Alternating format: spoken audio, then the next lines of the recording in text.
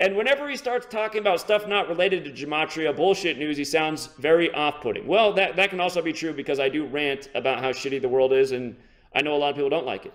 Then again, other people do. You can't please everyone. Like when he told people who are feeling lost in the world that they should commit suicide. Now, please show me where that ever happened. Where did I ever tell people who are feeling lost in the world to commit suicide?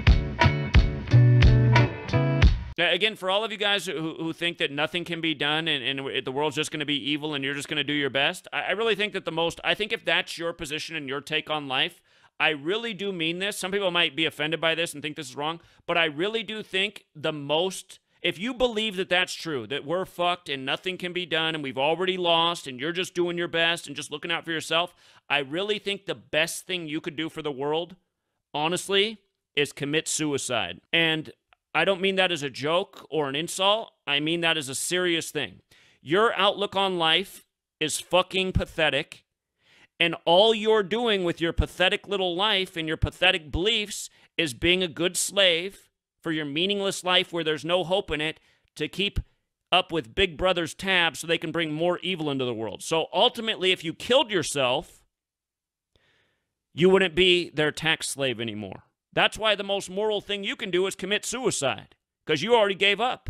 Now, please show me where that ever happened. Where did I ever tell people who are feeling lost in the world to commit suicide? All you're doing with your pathetic little life and your pathetic beliefs is being a good slave for your meaningless life where there's no hope in it.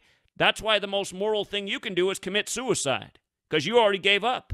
I know I have said that my trolls and the people who just hang around here and talk shit all the time, suicide's an option. I know that that exact phrase came out of my mouth, and I'd say it again. The exception of Chigozie, Derek Arthur, the rest of them, I, I would encourage them to commit suicide.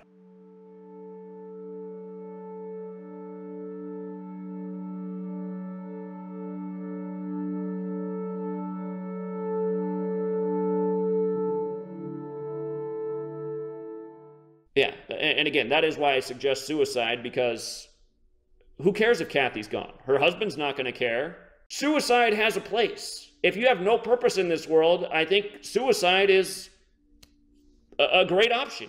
Stop dragging down humanity with your bullshit. Stop wasting the world's resources. We see the power structures getting rid of people for this exact reason. Help uh, solve the problem by getting rid of yourself. Again, Kathy, you're welcome to call in and tell me where I'm wrong.